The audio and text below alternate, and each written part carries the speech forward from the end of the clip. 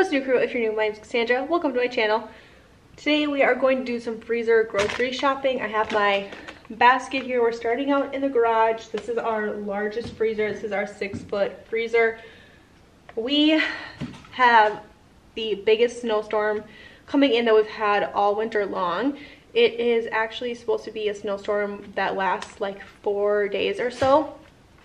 The school already sent out a preventative email to all parents saying, hey, be prepared for snow days and delays and two hour late starts and early releases and all the things while preparing for the snowstorm.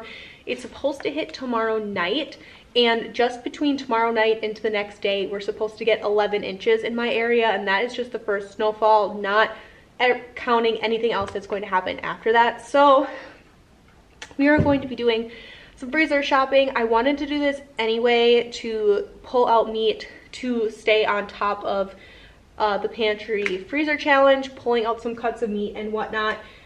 And it was getting time to just do a little bit of a restock. Anyways, so we're starting here. I want to show you guys kind of what I'm working with here. So this is where I put the bread and the yogurt tubes from grocery shopping. I'm going to grab one more of these yogurt tubes. We have a couple of these left. These are the kids' favorite snacks specifically. My one-year-old, she absolutely loves these. So we're to bring one of those inside and that will help us with snacks and stuff. If, if the kids are going to be home, they're to want these. And I put these in the girls, my school-aged girls' lunches every single day. They love these. So we're going to need that. Heading into here, this is mostly fish, um, some breakfast sausage, and some bacon, more breakfast sausage, some Italian sausage.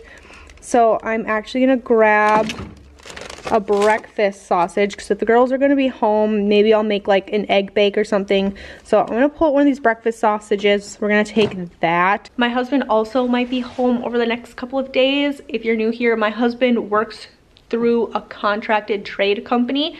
So he travels all over the district and we actually live in the largest district in which his company kind of like owns and works for. So my husband can travel up to like three or four hours one way, which he has done.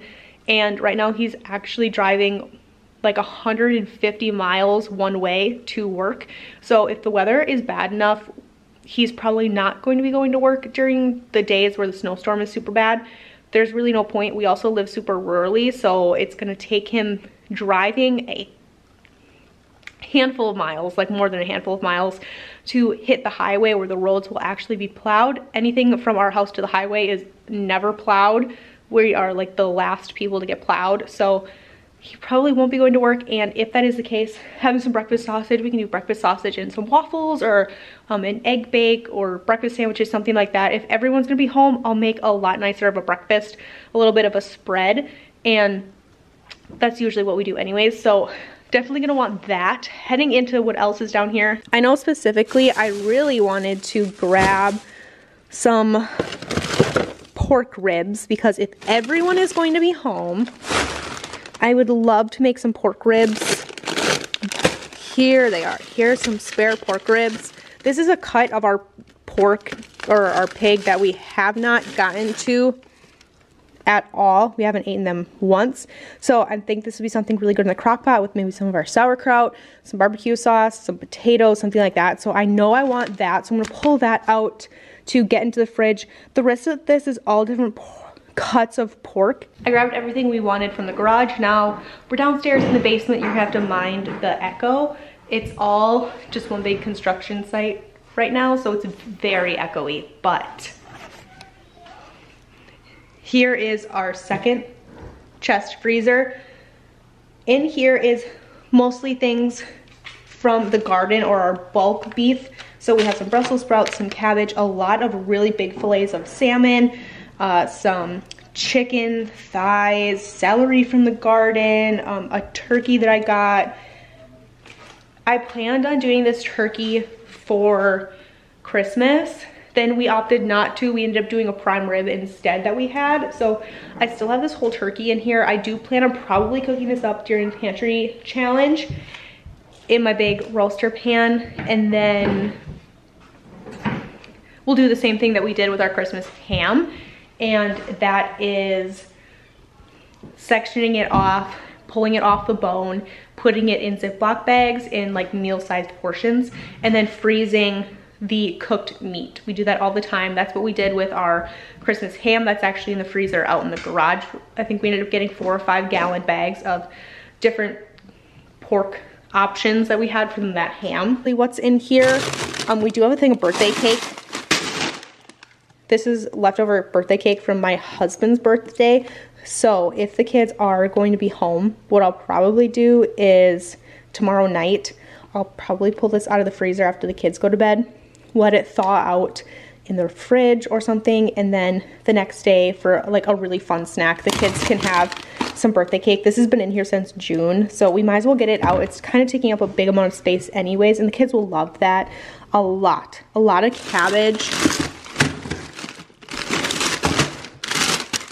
um, some spinach, and then the rest of this is all just ground beef that we have all the way in the bottom here.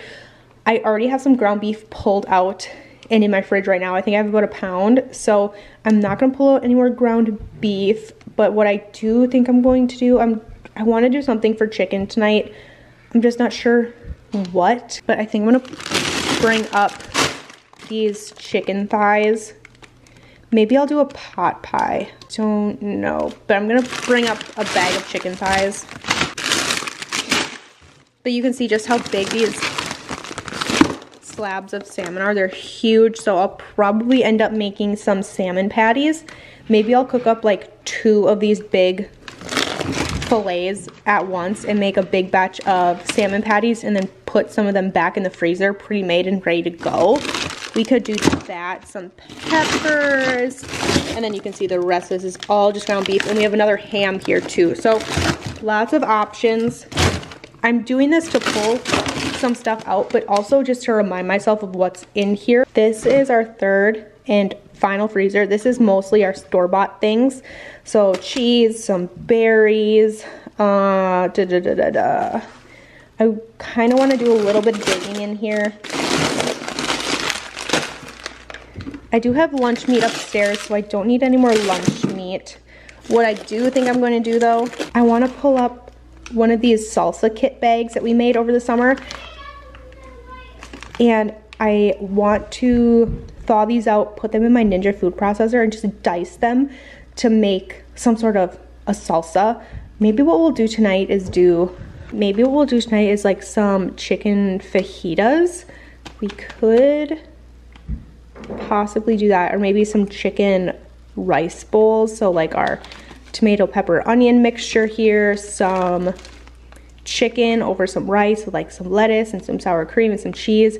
I think that might be what we do for dinner tonight. That sounds pretty good. I'm also to pull out this kielbasa. This will be great for if the kids are home, this will be a really easy lunch. I can do this kielbasa and some homemade mac and cheese. I already have some cheddar upstairs, so I don't need to worry about that. But that would be a super easy lunch. Just make some homemade pasta, get the uh, kielbasa going, and some mac and cheese. The kids will love that. So we have more and more of those salsa kits in here.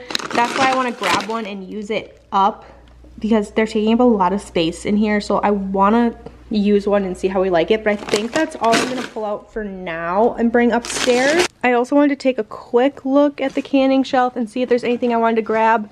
Me and my son already came down this morning, grabbed another jar of pickles. So you can see we're already making a huge dent in our pickles here. And we're gonna just kind of take a peek. I think what I want to do is, I think I'm gonna bring up one of these cans of Sloppy Joe mix. I think that would be really good. And then I am going to grab a package of that ground beef. So we'll do the chicken taco bowls. We have this for mac and cheese.